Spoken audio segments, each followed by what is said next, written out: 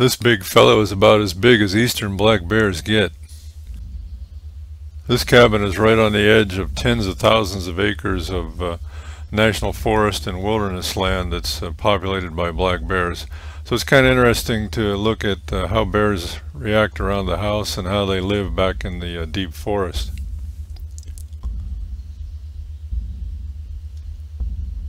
This bear has a pretty large territory. He stops by about every seven to ten days and checks out the bird feeders and just generally looks around and see if there's any scraps of food that he can pick up.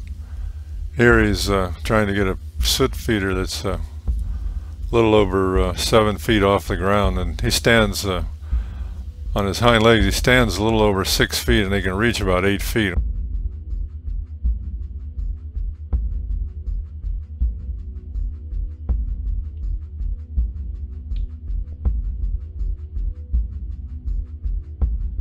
Typical of the black bear, he'll come by and uh, check out the area and hang around for maybe uh, a few minutes.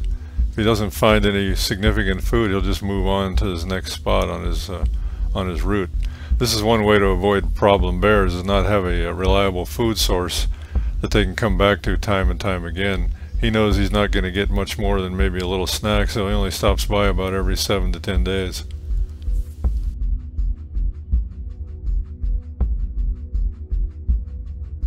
Sometimes they just pass through on their way somewhere else and they don't even bother to check out the deck.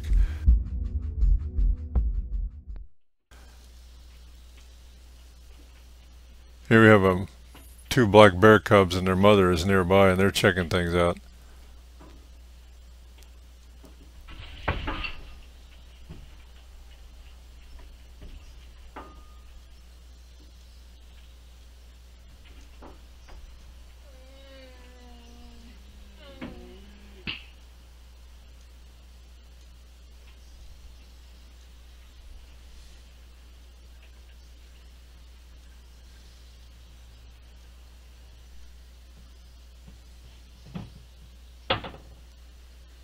Here's a different mother and three cubs from a year or so earlier.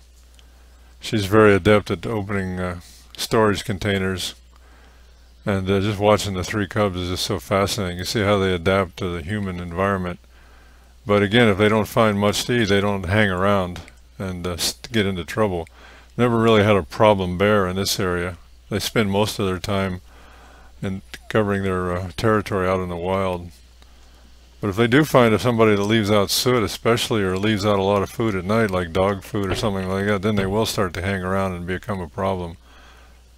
But if they just uh, stop by on their uh, visit every uh, every once in a while and move on, it's no big deal.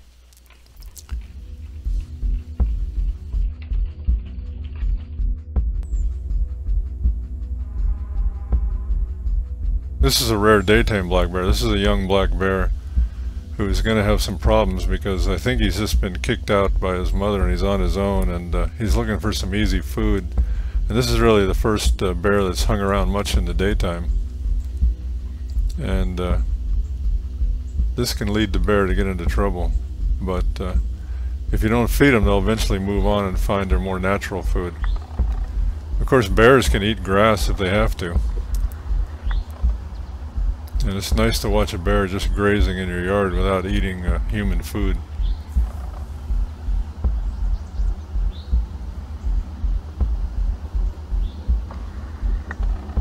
But now on to the reality of the bear's life. This is just a hundred yards from the house back into the forest and we see the first uh, significant uh, bear territory marker and you can see they uh, tend to scratch scratch up trees as far as they can reach to mark their territory.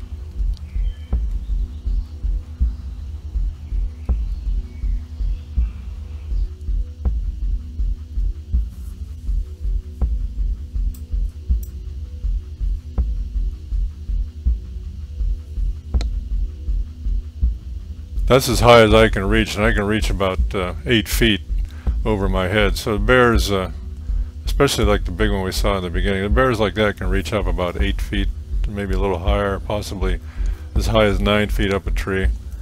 But that leaves a strong signal about that's a territory marker around the uh, housing. And then as you walk throughout the woods, you just see uh, bear markers uh, pretty consistently These are the signposts of the bear's uh, territory.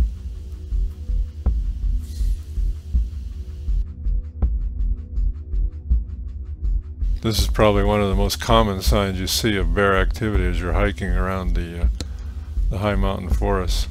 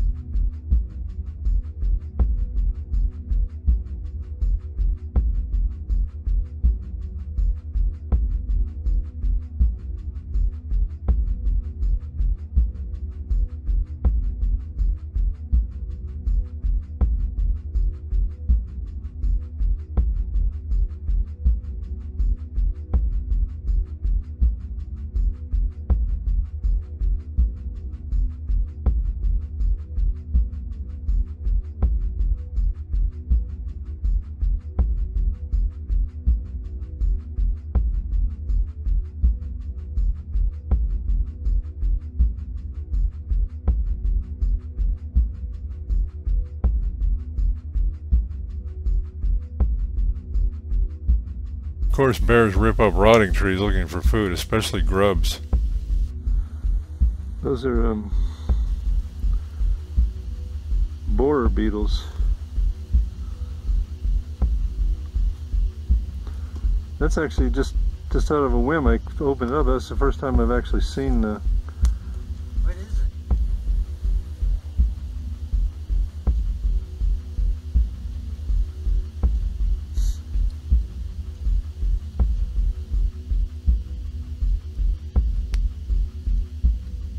And of course you can typically tell the difference between a food tree and a territory tree because a food tree is usually rotten and uh, the bears tear into the core to find grubs of uh, various beetles and other insects.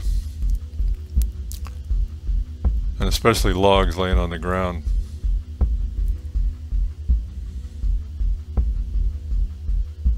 They don't really have to depend on humans for food. There's plenty of food in the forest and as long as you don't leave food out around the house they won't become a problem. They'll spend the majority of their time out in their natural wild habitat scavenging for food.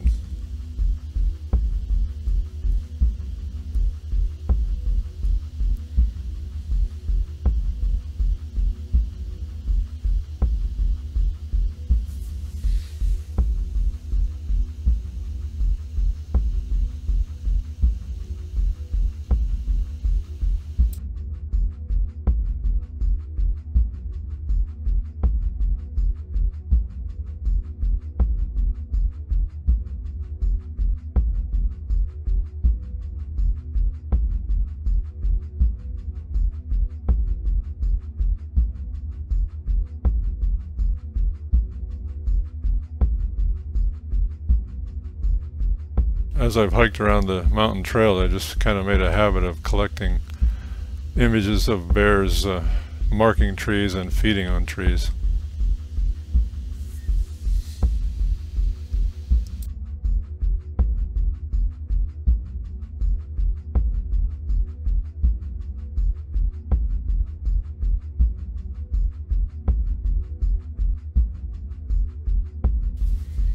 Some of the best high protein food is to be had just by simply turning over a large rock, which a powerful black bear can do with ease.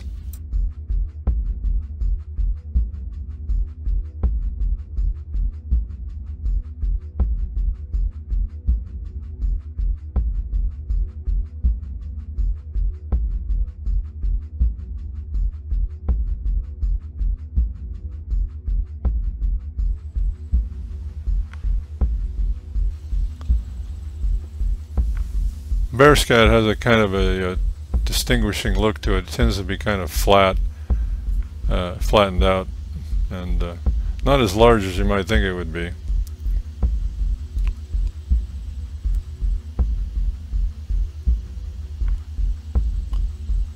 raccoon scat and uh, other wild animal scat tends to be formed more like you would expect a dog or a cat droppings to be.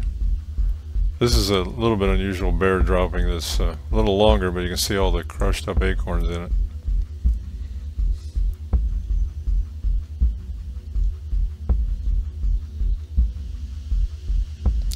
Bear scat's one of the most obvious uh, indications of a bear, re uh, bear recently passing. Interesting, once you're in the deep forest, there's rarely a place where uh, bears leave uh, good clear footprints, but they uh, always leave well-worn trails because they're creatures of habit. And they'll take uh, the easiest uh, way to get from point A to point B in their territory.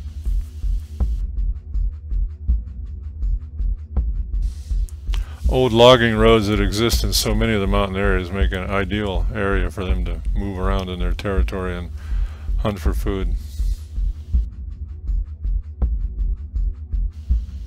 What's interesting though is if you're walking or hiking into these, especially not on the national park, but out in the, you know, the national forest or large tracts of private land that uh, people seldom trod on, it's really rare to see a bear in the daytime. They can usually hear you, oh, probably five or ten minutes before they uh, you get to their areas. They have plenty of time to either get out of your way or or or hide, or just uh, it's also a time of uh, least activity of the bears.